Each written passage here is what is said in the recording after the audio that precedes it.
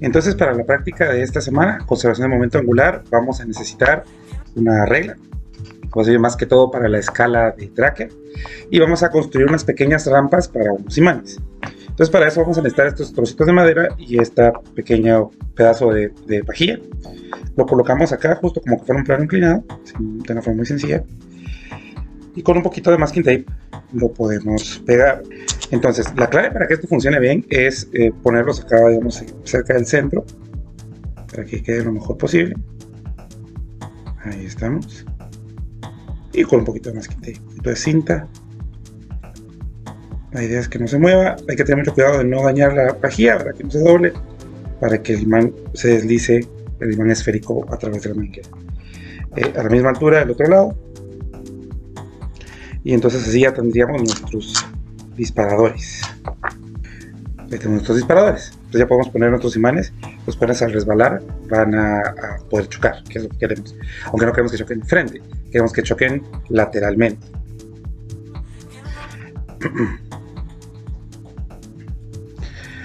Eh, lo siguiente también sería, vamos a utilizar este banquito para colocar nuestra cámara.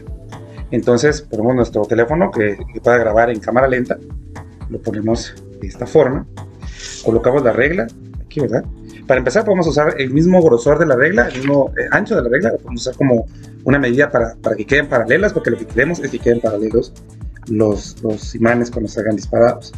Entonces podemos poner un disparador justo aquí y el otro justo paralelo a la regla del otro lado.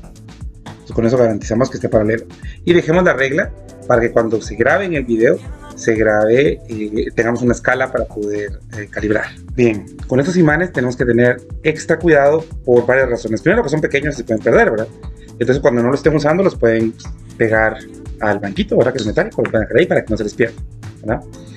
Y también lo segundo que hay que tener cuidado con ellos es que no lo vayan a pasar cerca de una tarjeta de crédito, cerca de su computadora, porque sí tienen una suficiente potencia como para dañar. Entonces, soltamos. Pero tienen que hacer al mismo tiempo. Entonces, ponemos los imanes de ambos lados, a la una, a las dos, a las tres, soltamos. Y entonces ahí ya se ocurre el experimento. Ahorita vamos a ver el video desde arriba de cómo se ve el experimento. Aquí está una muestra del video en cámara lenta cuando soltamos los imanes y chocan. Vean cómo se quedan girando cuando golpean uno al lado del otro. Ahora vamos a analizar este mismo video pero usando tracker. Ok, el análisis del video consta de dos partes. Realmente vamos a hacer dos archivos de tracker distintos. Uno para la parte cuando se están moviendo las pelotitas en línea recta y luego otro análisis para ver la velocidad angular. Entonces vamos a tener que tener aquí nuestro tracker listo y ponerle todos los parámetros adecuados. Entonces como ustedes saben, lo primero es cargar el video. Eh, si ustedes lo, lo, pasan por grupo de WhatsApp, recuérdense que WhatsApp le hace un procesamiento al video y ya no capta su eh, frame rate correcto. Yo lo pasé por un cable, por eso cuando pacho este botón me sale aquí 229 frames. Normalmente es 240 frames por segundo, pero como es lo que tiro por default, eso voy a dejar. Ustedes pues, revisen cuál es el frame rate de su cámara, de su celular y ese que ponen ahí. Pueden poner a mano 240 o el que corresponde. Entonces yo le voy a dar play acá y vamos a avanzar hasta que la pelotita salga aquí ya llegó al, a, se chocan ahí, o sea, ahí. Cuando la pelotita salga, aparezca por primera vez. Ahí, ahí, está la primera pelotita. Voy avanzando poco a poco hasta que aparezca la segunda, porque quiero medir la velocidad a ambas antes del choque. Entonces ahí va la pelotita de, de, del disparador izquierdo. Y ahora tengo un ratito en el cuadro a aparecer el del disparador derecho. Ahí está. Ahí está. Entonces creo que es un buen momento para comenzar. Entonces le ponemos establecer cuadro inicial aquí. Y le doy play y voy a esperarme hasta cuando se empiecen a curvar porque se sienten entre ellos. Va a ser más o menos por ahí. Quiero ver un poquito más. Sí, ahí creo que se están curvando. Ahí parece ser el lugar más adecuado. Establecer cuadro final. Bien, voy al principio. Y ahora voy a establecer mi sistema de coordenadas. Entonces voy a poner mi coordenada donde está esta primera. Y me, le voy a poner el eje X justo en la trayectoria que sigue. Queremos que sean paralelas. Esa es la parte más difícil de lograr cuando uno está en este video. Ahí se torce un poquito, ¿verdad? hay que tener cuidado de que no se pierda mucho. Ahí estamos. Muy bien. Y ahora para calibrar. Pues doy acá, nueva barra de calibración y coloco en mi regla. Lo voy a poner en el 3, la marca del 3, a la marca del 8. Ustedes lo pueden hacer con lo que ustedes quieran. Se puede hacer con un zoom in para que quede más preciso.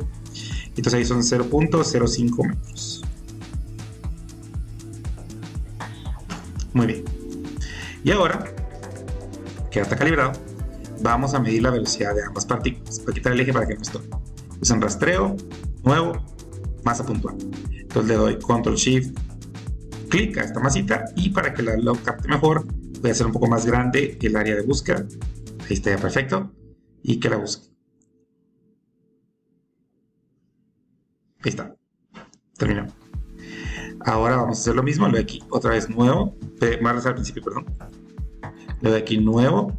Otra masa puntual. Y aparece una masa B de color cian. Entonces, con esa masa B seleccionada, seleccionado este botón, control shift y hago clic aquí. Lo mismo ahora podemos agrandar un poco para que no le cueste buscarla y buscar. Y ya está. Entonces vamos a ver las gráficas de ambas. Entonces el eje Y realmente no nos sirve porque vean que estamos en línea recta. Entonces vamos a poner acá eh, solamente un diagrama que sea la X. Como la partícula, la, la, canica de arriba se mueve hacia la izquierda, por eso nos queda con esa pendiente. Y si graficamos la bueno, el diagrama, solo uno, nos queda creciente. Entonces lo que queremos es la pendiente de ambas. Entonces ya ahorita es el momento de tomar datos. Entonces lo mejor es irnos y abrir un Excel y en este Excel vamos a ir apuntando los datos. Entonces tenemos la velocidad de la, de la partícula que va hacia la derecha, la velocidad que va hacia la izquierda, la masa de ambas esferitas, que ahorita en moradito les digo el valor, eh, la distancia D, la distancia, entre, la distancia entre ellas al centro de masa, o sea, medimos la distancia de sus dos trayectorias y la mitad de esa distancia, el radio de las esferitas y con eso podemos predecir el omega eh, teórico. Y luego por acá más abajito vamos a poner el omega experimental. Creo que es todo lo que necesitamos. Entonces vamos con la velocidad 1. Entonces creo que la masa realmente no la necesitamos, la masa se cancela. Eh. Entonces eh, selecciono la masa 1, que es esta, le doy doble clic, aparece esto, le doy analizar, ajustes, línea. Entonces vamos a la pendiente, nos quedó de 435.6 por 10 a la menos 1, o sea 0.4356. 0.4356, esto está en metros por segundo. La de la 2, la de la 2. Entonces eh, me paso otra vez a tracker. Me cambio de masa, le doy doble clic, me dibuja esto, analizar, ajustes, línea. Vean, el ajuste en línea está perfecto. Me da negativo, aunque en realidad solo me interesa la magnitud, punto 4967. En Excel, punto 4967 metros por segundo. Como les digo, la masa se va a cancelar, así que no la necesito, la puse de más. Ahora, si la distancia D, esa sí la vamos a poner. La distancia D la, medimos aquí. Entonces, regresamos al eje.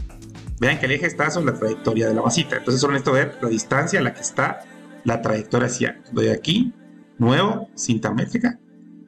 Y entonces la, la pongo desde el eje hacia la trayectoria de la masita eh, y que esté perpendicular, esté lo más paralela al eje Y posible. Y me queda una distancia de 1.659 eh, por eso la menos 2. 1.659 por eso la menos 2, pero recuerden que esa es la distancia completa. Y el centro de masa, como las dos pelotas son idénticas, está justo a la mitad. Entonces la distancia D para nuestra ecuación de momento angular es dividido 2. El radio es .00253 metros. Eso lo medí yo con el Vernier. El dato se los doy a ustedes ya como, como conocido. Y ahora vamos a usar la ecuación de nuestra guía, va a aparecer aquí seguramente en la pantalla. Entonces con eso vamos a calcular la, nuestra omega teórica. Nuestra omega teórica es la que vamos a calcular y la fórmula es la que aparece ahorita en la pantalla, la que está en la guía. Y es 5 eh, por 5 por eh, la distancia de dividido 28 eh, por el radio al cuadrado, el radio que y luego eso va multiplicado afuera arriba con la suma de las velocidades. Queda la suma porque el momento angular de ambas, aunque van en direcciones opuestas, ambas van a hacer girar en el mismo sentido del sistema. Por eso ambos momentos angulares son del mismo signo, por eso se suman, son, son positivos ambos. Entonces al hacer eso, nos queda que la velocidad eh, teórica que predice nuestra ecuación es de 216 radianes por segundo. Muy bien, y ahora entonces vamos a analizar cuando ya está rotando. Entonces lo que vamos a hacer es salvar este archivo para por si lo necesitamos volver a medir o hubiera algún error. Entonces le damos eh, guardar pestaña como y le podemos poner aquí eh, imanes 1 línea recta, que se sepa que somos que en línea. Bueno, entonces ahora lo cerramos. Y volvemos a importar el video, el mismo video.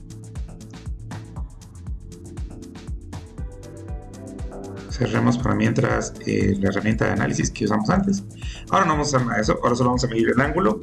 Y si el video es lo suficientemente bueno, o sea, duró bastante tiempo girando, eh, vamos a poder medir una vuelta completa de, de, los imanes. Entonces no es necesario ninguna herramienta. Ok, ya cargo. Pues lo mismo, vamos a avanzar el video hasta que las pelotas ya estén girando. Vamos a hacerlo cuando empiecen a girar. Como hay fricción con la mesa, entonces sí es importante que midamos de las primeritas revoluciones porque si no, pues la fricción nos va a alterar. Entonces ahí estamos a punto de que colisione. Está, ya colisiona. Dar un frame para atrás. Ahí. Ese va a ser mi frame inicial.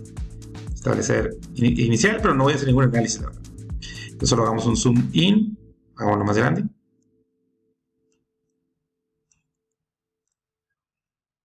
Ahí está. Vean cómo están orientadas. Eso es lo importante. Entonces ahora veamos otra vez el frame rate.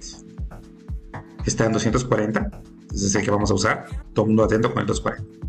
Entonces solo voy a ir avanzando frame por frame hasta que otra vez esté la vuelta completa. Entonces vamos a contar cuántos frames son. Ahí va a aparecer, eh, sí, vamos a ir contando. 1, 2, 3, 4, 5, 6. 6 frames. Entonces en 6 frames regresó a la orientación en la que comenzó. Entonces vamos a nuestro Excel. Y entonces vamos a poner. Entonces como son eh, una revolución, una revolución son 2 pi. Y esa revolución pues ya está en radianes. Entonces ahora eso es dividido el tiempo. Es dividido el tiempo. El tiempo fueron 6 frames. Pero cada frame es 1 partido 240 segundos. Entonces ven cómo es 2pi dividido 6 dividido, dividido 240. Nos da este número. Radianes por segundo. Está bastante cercano al, que predijimos históricamente. Calculemos el porcentaje de error. Entonces tenemos aquí teórico, menos experimental, partido teórico. Tenemos un error del 16%, que no está nada mal. ¿verdad? Entonces ahí está nuestro experimento. Entonces esto es lo que hay que hacer. Y luego con los mismos datos que tenemos también les voy a preguntar que calculen cuánto porcentaje de energía se conservó. Entonces vamos a sacar la energía que había antes y la energía que había después. Entonces ahí sí nos serviría la masa. Eh, la masa, yo ya, pesé esas esferitas. La anoté aquí en mi otro cuadro que estaba analizando otro video previo que hice. Aquí está la masa de las, de las esferitas por si la quieren anotar. Esas siempre son iguales, ¿verdad? Y tienen esta masa. Eh, que es como 0.44 gramos. Lo que hice fue pesar 30 pelotitas juntas y luego dividí por 30 y obtuve ese valor. Entonces con eso es la práctica de esta semana.